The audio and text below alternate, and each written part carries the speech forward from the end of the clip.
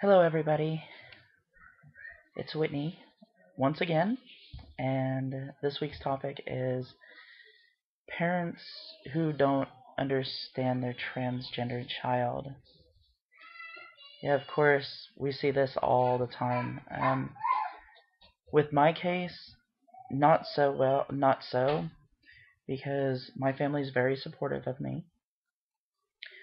But I have noticed with um, a lot of my friends, a lot of them actually um,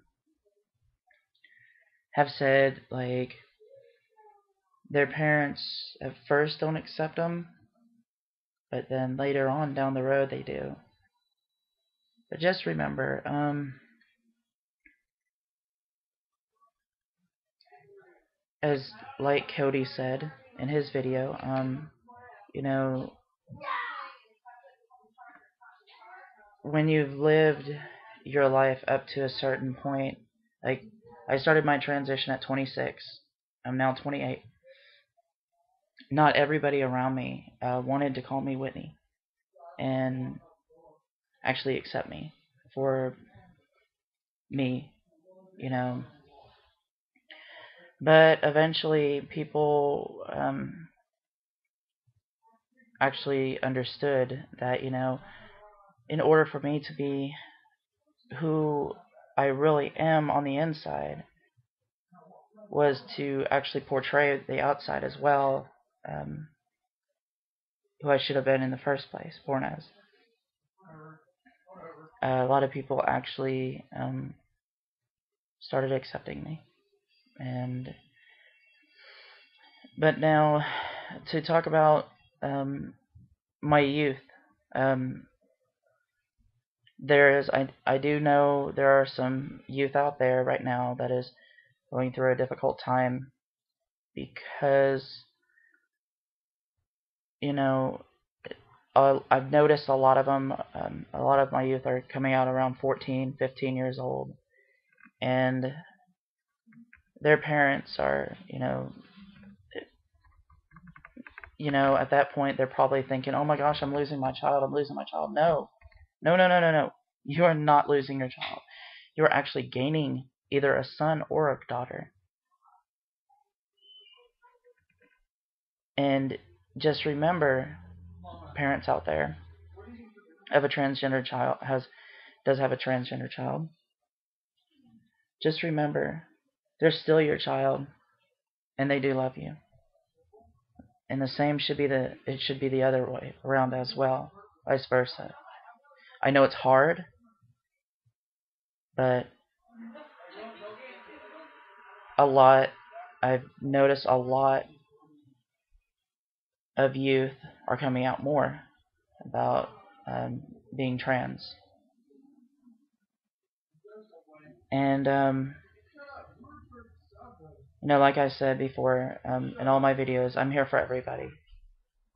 And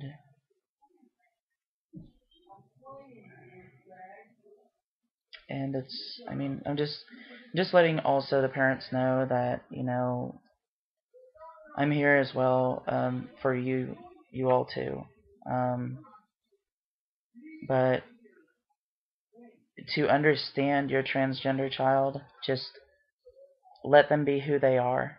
Let them be who they feel they are. Let them be either the male they were supposed to be or the female who they were supposed to be. Um, but yeah, just, you know, just let them be themselves. Um, now, like I was saying earlier, um, it is I guess it I guess it is kind of harder if if you do it later on. I I mean I really wanted to get it done a long time ago to do this, but now I'm the in between age because I, I really can't say I'm I'm not youth. I can't say I'm adolescent, and I can't say I'm middle age. People have actually told me you're not middle age. Okay, so where am I at? I guess I'm in between. So, anywho, what I'm saying is basically I'm seeing everything. I get I I'm seeing um you know older people doing it. I'm seeing younger people doing it.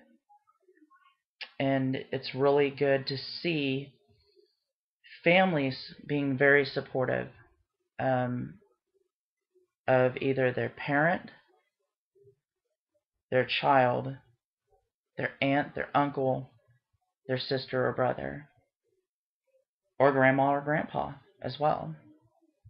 So, enough said. Um, I just want everybody to know that um, that this process um, it is a process and never give up. Never give up your goals.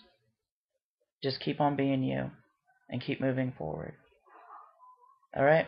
Well, I will talk to you, ladies and gents, next week. So, ta ta.